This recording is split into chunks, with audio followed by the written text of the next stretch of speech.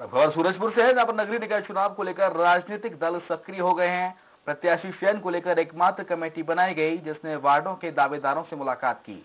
और अहम सलाह दी है कमेटी के सामने एक प्रत्याशी का नाम तय करना किसी चुनौती से कम नहीं है। कमेटी ने दावेदारों को योजनाओं के नाम पर अपनी स्थिति मज़बूत करने की सलाह दी है और सामंजस्य बनाकर प्रत्याशी तय करने की बात कही है।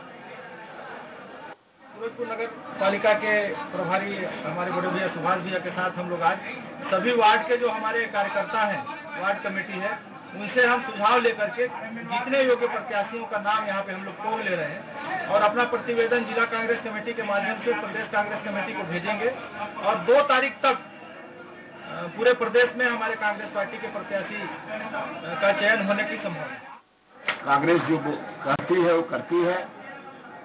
जो यहाँ के लोग हैं, उनको सभी को जो सरकारी ज़मीन में निवास कर रहे हैं, जो गाइडलाइन है सरकारी, उस हिसाब से सभी को पट्टा दिया जाएगा।